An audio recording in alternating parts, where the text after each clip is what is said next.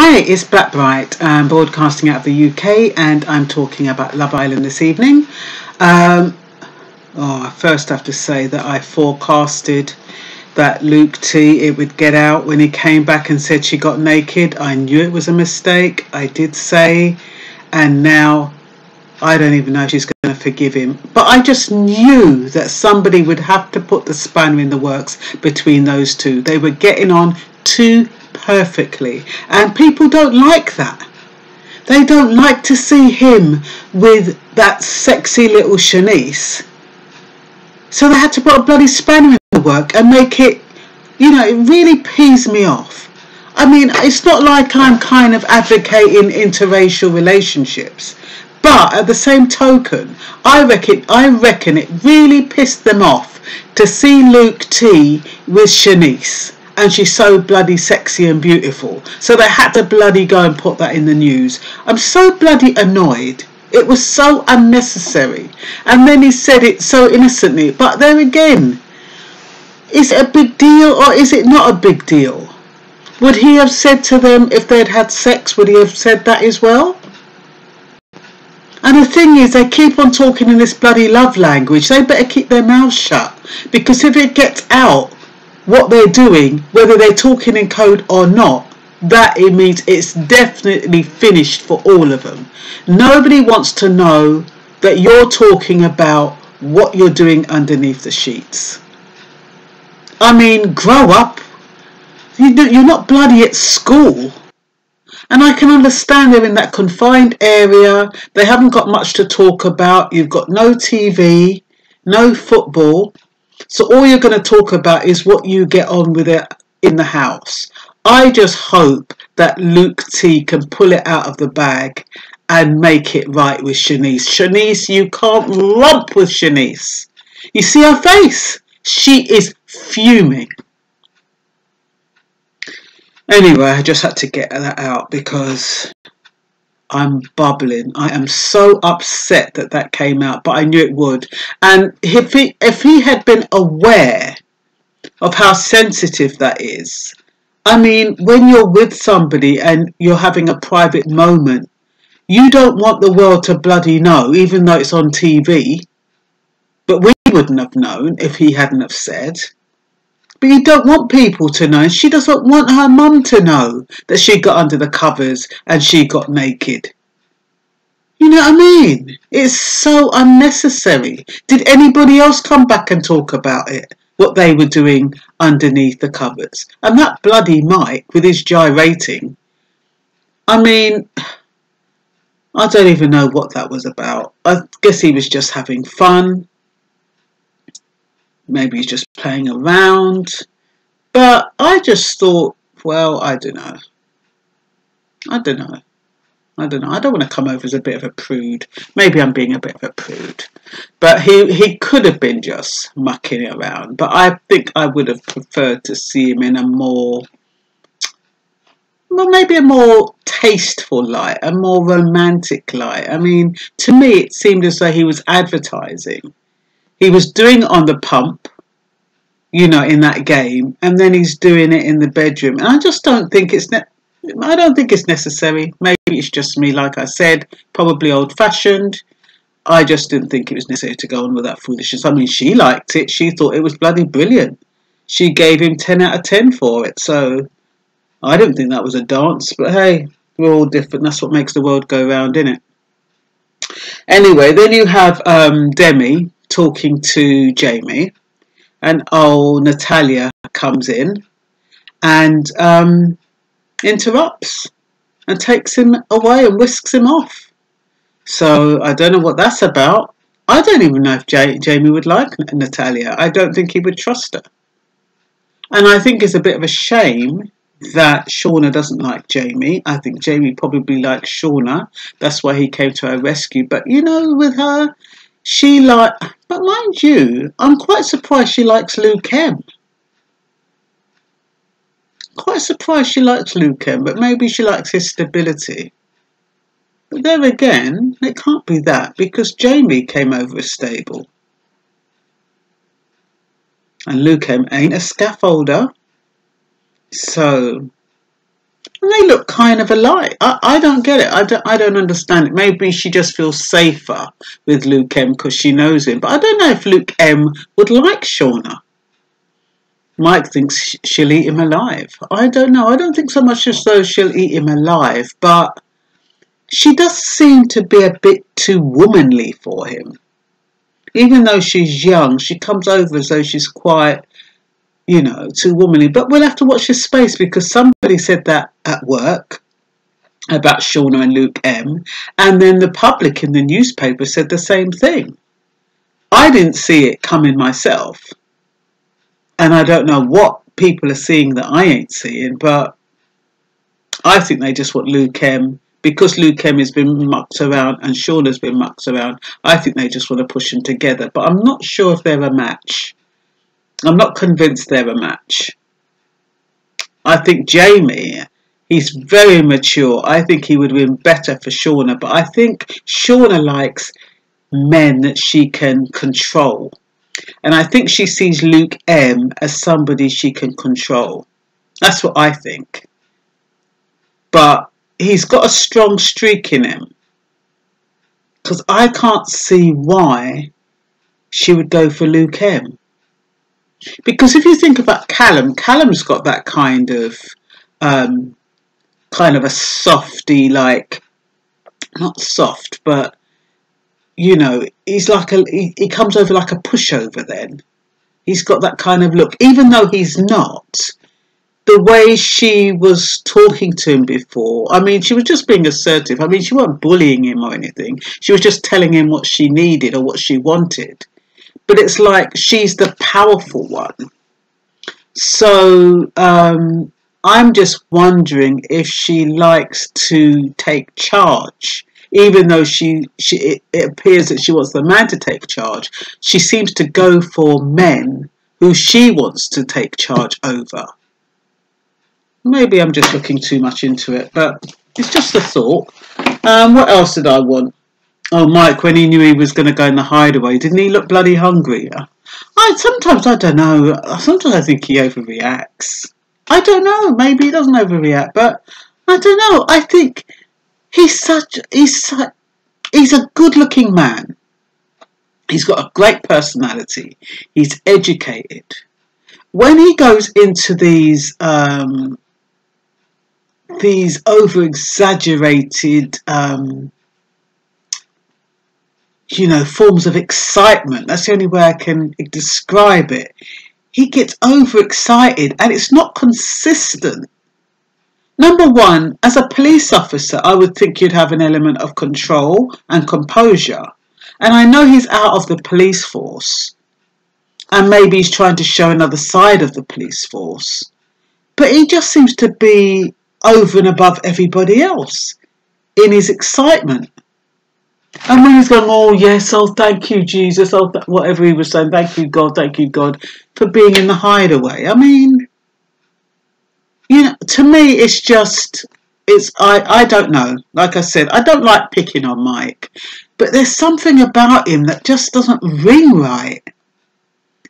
And I don't know what it is. I mean, the public think he's a game player. I'm not saying he's a game player.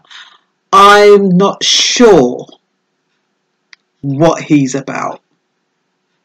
I think he exaggerates and I think he's a basically a decent guy, but there's just something that's not quite with his. He seems to be overly dramatic. That's the word I was looking for. Okay, Ched and Jess, I thought they looked pretty good um, together tonight. You know, yesterday I was saying I can't really see them together. This evening, I, you know, among all the penguins and the way they interacted, I like that. I could see them together. So, yeah, they seem to be grooving. I like the way that Finn always carries Paige down the stairs. Or up the stairs. He always lifts her up. She never has to walk up and down the stairs, from what I see. But are they in trouble now? I mean, I don't remember Finn. Oh, he did, didn't he? He did, um, he was talking. Who was he talking to? I can't remember now. Was he talking to Natalia? Oh, Molly. No, he, yeah, he liked Molly, didn't he? Oh, shit, if that gets out and Paige hears, he's finished. Those girls, she don't rump. Yeah, he's in trouble because, yeah, he did. He was flirting with bloody Molly. I mean, I know for the most part afterwards, because what happened is, oh yeah, Molly, he liked Molly, and so did Luke M. But Molly fancied um, Callum, and so that was the reason why Finn decided to stay stick with Paige, and Luke T decided to stick with Siânnise if that ever gets out that they realised they were second best. Because basically, if Molly had taken either of them, they would have gone. Well, not Luke T, because nobody liked Luke T, but definitely, um, um, what's his name? Finn. He was out. He was about to dump um, Paige for her. Shame. I forgot about that. I'll tell you, the pages don't, the papers don't miss anything. So there's going to be a lot of ructions tomorrow night. What else? Um, take someone special just one a bit. Hmm. I don't know why I wrote that down now.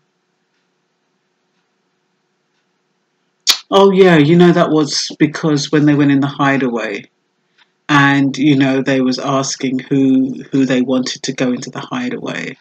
And it's supposed to be a special moment but really it's just an excuse to have a bit. I mean i've never i mean i don't get the impression that people people go there to have sex but i did read in one of the newspapers that they do use it to have sex. And i think only once i think somebody came back and actually admitted it. And i can't remember that but that wasn't in this one. That was in a previous one so I don't know if they do that. Um, and I and I'm going to be gutted if Siânnise and Luke don't make it because the way they are in the bed and the way they're so affectionate. Oh, he's got to be so careful with Siânnise. You can't be blabbing. But you know they're young. Well, no, I mean they're not really that young.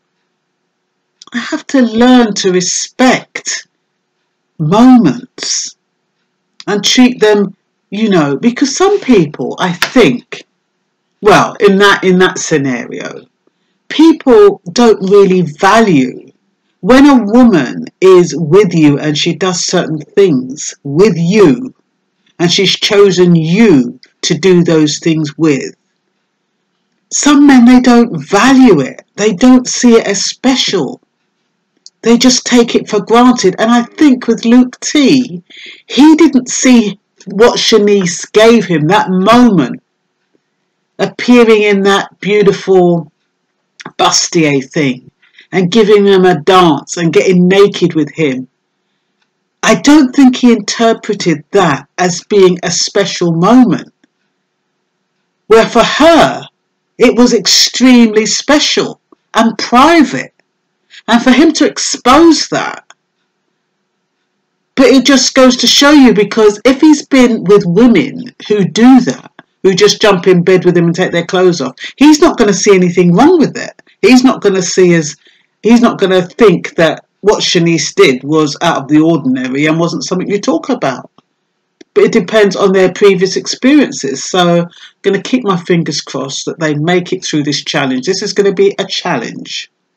So let's hope that he learns from this and he learns he learns that you know whatever she gives him is special. Um, I think Jamie's quite mature. I kind of like how he rolls, but I think um, he's a type of person I think that's too he's too good for the people in there. I think the women in there, like Shaughna, they like people who are not necessarily broken or damaged, but they don't seem to like wholesome people. So um, Demi, I, I don't I, I don't get Demi at all, and she's got that little fake talk when she speaks to um, Jamie. I just don't like that. I think, and I don't like Natalia for Jamie either. I don't think the woman for Jamie has arrived yet. She hasn't arrived yet. I think Jamie should get somebody else. Not none of that lot. Because I think he's quite a nice guy. He's mature. He's got he's level headed. Um, he's relatively successful, and I think I don't think any of those girls. I think Shaughna, no, she's all over the place. Her head's all over the place. I wouldn't be surprised if another scaffolder came in there. She'd go off with a scaffolder. It wouldn't surprise me, even though she said she wouldn't touch another one. Oh, weren't those penguins beautiful? Oh, that was a really nice date. That was. I thought that was really lovely and unusual. It's not something that you can re. It's not like it's not something you're going to be able to do anywhere, is it? You're not going to be able to say like if you came back to England, you're not going to be able to say, "Oh, I'm going to go off and look at some penguins." So that's a really special moment, and it was quite a unique moment. So I think that was quite a nice date. And Ched talking about building homes. He's another serious one building homes and you know he's talking about her and him getting a home and talking about family. And it can't wait to meet Eve and you know her mum and his mum. And I'm like whoa where did all that come from? And there's something about Jess's face her expression that tells me she's not really interested. And I don't know her words say something different her words say, oh, he's a nice guy and we're really getting on and we'll see how it goes. But her expression tells me she's not really interested. I think she's only interested in him maybe, uh, I don't know, maybe as a sexual conquest. I don't know. But I, I, she's definitely not interested in him, you know, talking about houses and all that kind of stuff. She weren't even the slightest, she weren't even excited. She's surprised, but you know, he needs to slow down a bit. He needs to slow down a bit. And I think when men um, meet women, they and they're excited about them. I don't think they look at the women. I don't think they do. I think they see what they want to see.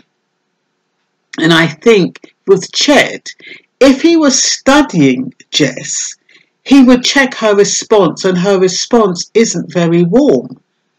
You know, the kiss is forced, forced, well, in my eyes, it seems quite forced. And it's very measured. It's not like an elongated kiss. It's like, oh, he says he wants to kiss, so I'm going to kiss him and, you know, get it out of the way kind of thing. It doesn't strike me as an intense, passionate, warm kiss that they have.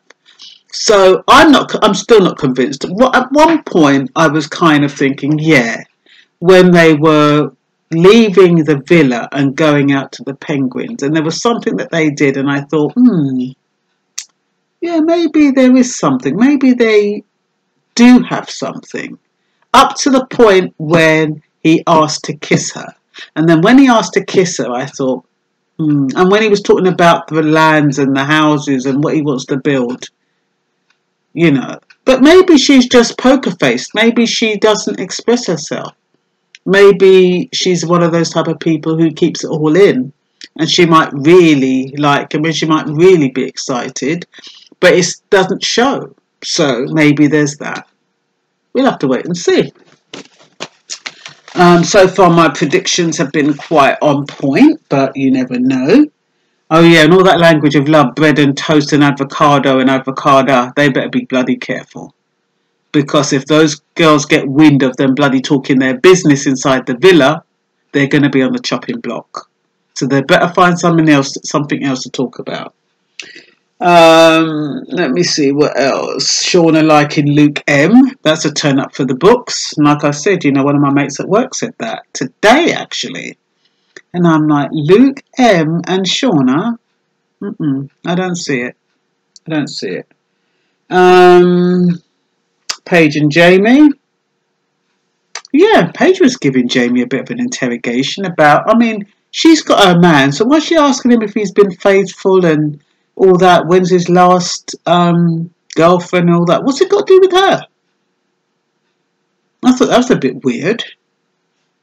Oh, you know, yesterday I was saying that Paige and Jamie, remember? Now, supposing she gets pissed off with Finn because she finds out about him and Molly. Ooh. And then she decides to link up with Jamie.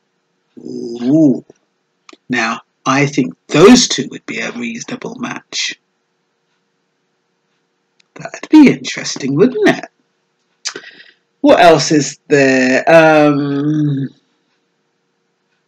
Shaughna never looked too bad. Yeah, Shaughna didn't have her makeup on today, and I think maybe yesterday was a bit of a shock. But today she never looked too bad. I mean, she still looked a bit. I don't know. She just didn't look as bad as she did yesterday without the makeup on.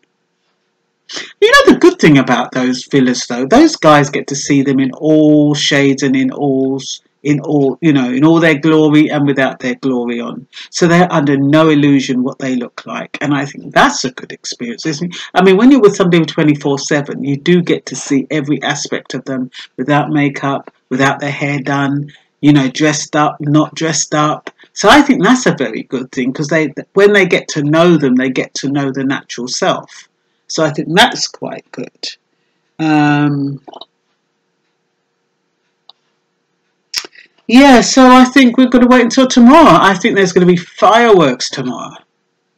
Big fireworks. I just want Luke T and Siânnise to make it art. I don't care about anyone else. I don't even care about Finn and Paige. But I do care about Luke T and Siânnise. I do want that to work. They've got something special. And I don't like the fact that people are trying to put spanner in the work for those two. We'll have to see what happens. So, peeps, good night. I'm off to bed. Bye bye.